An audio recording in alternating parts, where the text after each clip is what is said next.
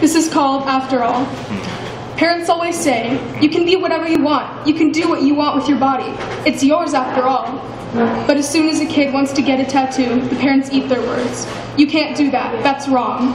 A piercing. You don't want holes in your body. They're ugly.